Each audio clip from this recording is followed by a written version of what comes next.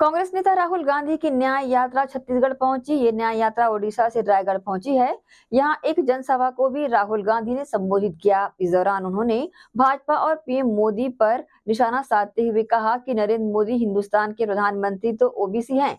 जिस दिन मैंने जाति जनगणना की बात की, उस दिन के बाद नरेंद्र मोदी ने अपने भाषण में कहा कि इस देश में कोई जात नहीं है, सिर्फ़ दो है, एक गरीब और एक अमीर है। राहुल गांधी ने देश के प्रधानमंत्री नरेंद्र मोदी की ओबीसी जाति पर बड़ा सवाल उठाते हुए कहा कि पीएम मोदी का जन्म ओबीसी वर्ग में नहीं हुआ था, उनका जन्म सामान्य जाति में हुआ। वे गुजरात की तेली जाति में पैदा हुए थे। इस समुदाय को साल 2000 में बीजेपी ने ओबीसी वर्ग में शामिल किया था। उनका जन्म सामान्य जाति में हुआ था।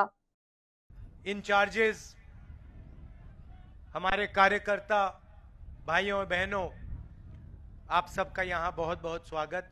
नमस्कार। कैसे हैं आप लोग? बढ़िया। तो एक साल पहले हमने यात्रा शुरू की थी भारत जोड़ो यात्रा। कन्याकुमारी से कश्मीर तक गए। वे शांत हो जाए आप।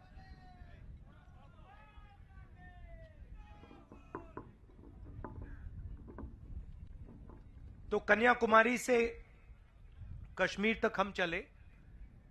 4000 किलोमीटर चले और उस यात्रा का लक्ष्य बीजेपी एसएस देश में नफरत फैला रही है, हिंसा का माहौल बना रही है, उसके खिलाफ खड़े होने का था। और भारत जोड़ो यात्रा से एक बहुत खूबसूरत नारा निकला। नफरत के बाज़ार में मोहब्बत की दुकान खोलनी है। और ये लाइन कांग्रेस की विचारधारा को बहुत गहराई से किसी को भी समझा देती है। वो नफरत का बाज़ार खोलते हैं, हम मोहब्बत की दुकानें खोलते हैं। वो हिंसा के बाज़ार चलाते हैं, हम अहिंसा की दुकानें चलाते हैं। तो जब हमने ये यात्रा खत्म की तो बहुत सारे लोग आए, उड़ीसा से आए, छत्तीसगढ़ से आए, बंगाल से आए, उन्होंने कहा, देखिए, आपने साउथ से नॉर्थ कर दिया, मगर बाकी प्रदेशों का क्या होगा, छत्तीसगढ़ का क्या होगा, झारखंड का क्या होगा, बिहार का क्या होगा, उड़ीसा का क्या होगा, आपको दूसरी यात्रा करनी चाहिए।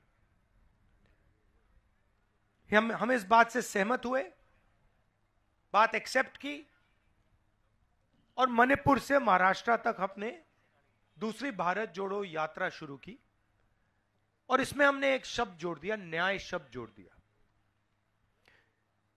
क्योंकि पहली यात्रा में हमें दिखा कि देश में बहुत सारा अन्याय हो रहा है। अलग अलग वर्गों के साथ अन्याय हो रहा है। भाषा ठीक है? तो ये 24 घंटा, ये 24 घंटा कहते हैं, सुनिए, ये 24 घंटा कहते हैं, मैं ओबीसी हूँ।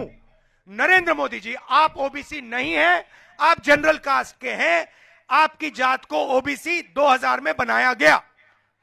पहली बात। दूसरी बात इस देश में दो जाते नहीं हैं।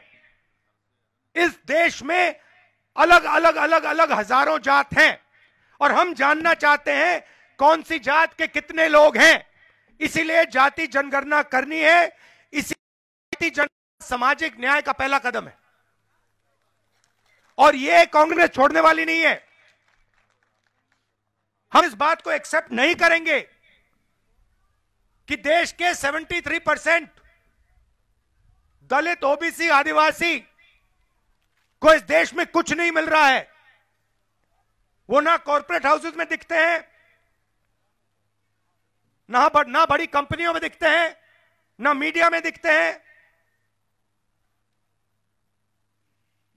इस बात को हम स्वीकार नहीं करेंगे।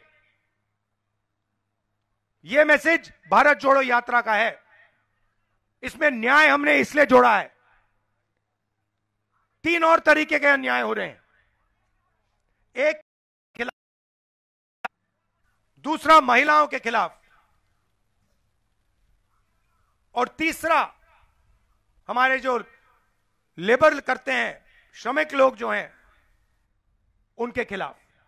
और आर्थिक और सामाजिक न्याय सबको चोट पहुंचाता है। आपके यहाँ जो बच्चे हैं, जो बेरोजगार हैं बेरोजगार क्यों है?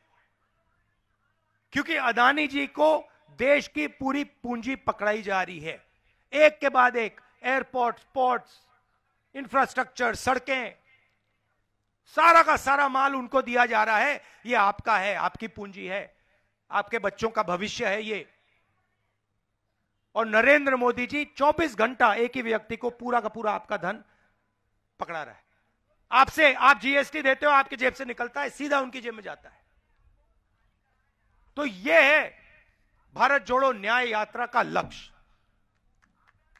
आप सब यहाँ आए, दिल से आपने मेरी बात सुनी। इसके लिए मैं आपको धन्यवाद करता हूँ।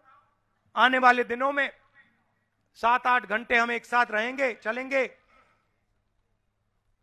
जो भी आपके दिल में है, आप हमें बताइए। हम आपकी समस्या, आपकी मुश्किलें यहाँ सुनने आए हैं।